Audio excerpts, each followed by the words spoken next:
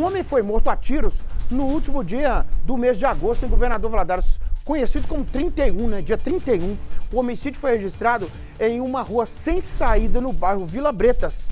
A Alessandra Garcia e o Wellington Cunha, eles é, mostraram essa situação ao vivo aqui no Balanço Geral, né? Foi com o Saulinho, né, que contaram isso. Agora a gente confere, a reportagem completa tá aqui no telão, pode balançar. A execução foi por volta de meio-dia. Alderley Bruno da Silva, de 38 anos, conhecido como Bruninho, foi morto em frente à casa de parentes, nessa rua sem saída, no bairro Vila Bretas. Testemunhas disseram que a vítima passava uma temporada no bairro. Mas a gente já tem, a gente tem expectativa né, de ter informações mais concretas de como que foi a dinâmica do crime e também quem seria a provável autoria. A perícia constatou que os tiros atingiram principalmente a cabeça do homem. Testemunhas informaram que nos últimos dias ele andava com a ajuda de muletas.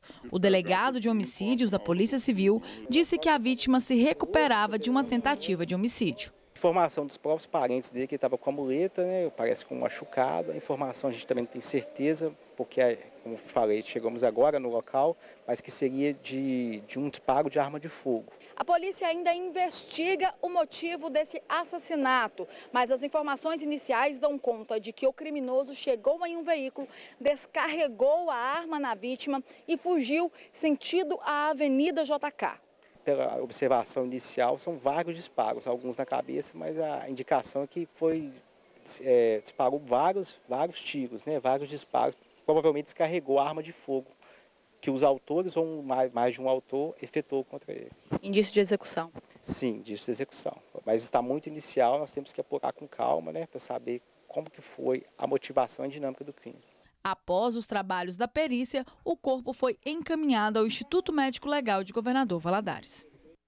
Acompanha a gente aqui no Balan Geral, já escutou várias vezes eu pronunciar uma expressão que está até em latim, né? Parece antipatia, mas não é não. Animus é o que a lei vai dizer que é a pessoa que tem a intenção de matar, vontade de matar. É, alguém diz assim, ah, Nicomedes, mas todo mundo que atira quer matar. Às vezes não. Às vezes o sujeito começa a, a, a atirar numa pessoa por fúria, raiva, alguma coisa e desiste da ação. Por que, que a polícia diz execução? Porque o ânimo necante ele prevalece, é vontade de matar, é a quantidade de disparos, a quantidade de paulada, a quantidade de facada, a quantidade de coisa que é praticado contra a vítima diz da vontade, uma fúria que está por dentro, é de exterminar aquela pessoa. Então, por isso que a gente fala de execução. A forma como atira, atira nas costas, na cabeça, na nuca. É, ânimos necante, vontade de matar. E a vontade de matar, eu não sei, o ser humano tem algum problema, né? Ele não respeita o semelhante, qualquer desavença que seja, não desse caso especificamente, qualquer desavença que seja. Há pouco falei aqui do homem que matou a mulher facada.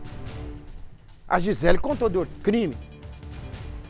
Aqui tem outro crime. É, não tem diálogo, não há diálogo. Desentendimento. Comprou o carro, não pagou, mata.